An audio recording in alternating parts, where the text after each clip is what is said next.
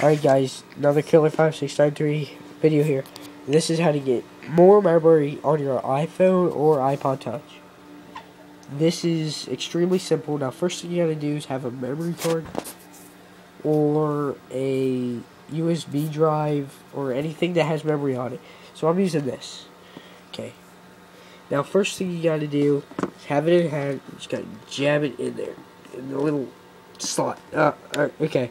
It's in. Then you open it up, open up your settings, and check how much memory you have. Okay, so I had like 1.1 gigabytes left. So let's check how much I have now.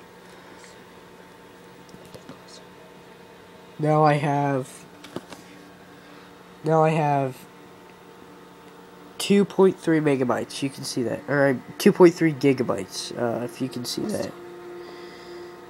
Yeah, there it is. Okay, 2.3 gigabytes.